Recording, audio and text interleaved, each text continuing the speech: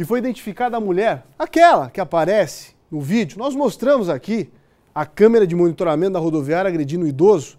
Ele é agredido no chão, ele cai, mesmo assim, né? Essa barbárie continua. O caso foi no último domingo e a gente trouxe detalhes no nosso balanço geral. É essa fulana aqui. Vamos ver.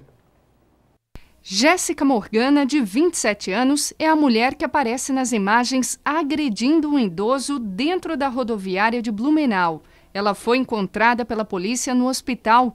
Depois de agredir o idoso, ela foi espancada por moradores de rua que estavam revoltados com a situação. Com base nas imagens captadas ali no local e depoimento de testemunhas, foi possível identificar os dois agressores, sendo que a Jéssica foi localizada no Hospital Santa Isabel, que ela estava internada porque ela foi agredida fisicamente logo após ela ter cometido aquele tipo de conduta. Segundo a polícia, Jéssica veio do Paraná para Blumenau e havia acabado de chegar na rodoviária. Em depoimento aqui na central de polícia, ela disse que o idoso passou a mão no corpo dela.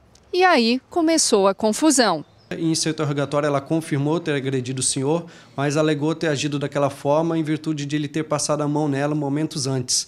E ela agiu no impulso e acabou agredindo com a ajuda de um terceiro que ela não conhecia e também morador de rua do local.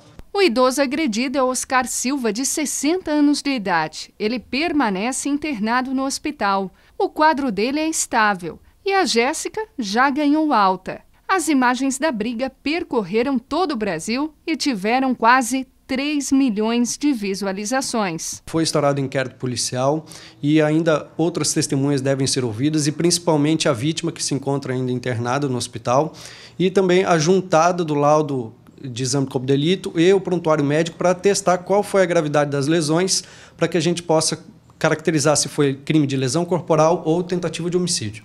Ah, a gravidade foi gigante, né, doutor?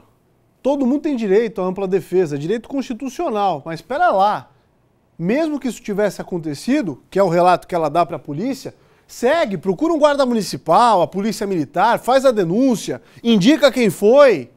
Não vai, chama não sei quem e começa a agredir um idoso em plena rodoviária, passa das nove da noite, quando as imagens começam a ser registradas. Tá tudo ao contrário, de ponta cabeça, né, minha filha? Tinha outra forma de resolver essa situação se isso de fato aconteceu, mas só as investigações vão poder comprovar.